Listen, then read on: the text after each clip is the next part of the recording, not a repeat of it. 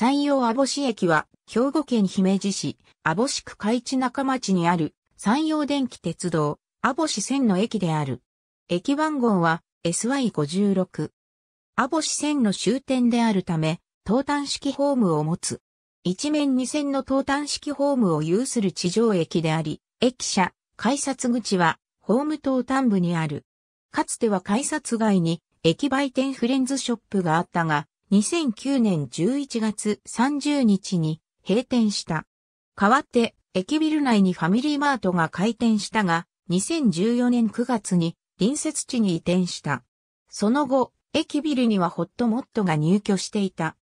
また、当駅発の最終列車に乗車した場合は、鉄道だけを使用する場合、山陽姫路駅へは到達できるのに対して、山陽鉄道本線を抜ける場所へは翌朝を待たねば到達できない。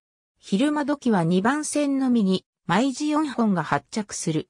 乗降者数4103人以下に各年の乗車人員を示す。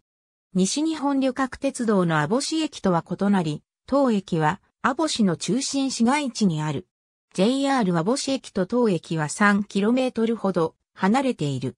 なお、当駅も所在する姫路市、網干区を含む地域を管轄する公共施設は当駅周辺に多く所在している。また鉄道が通っていない密、室津方面へ向かう場合の玄関口となる駅でもある。ありがとうございます。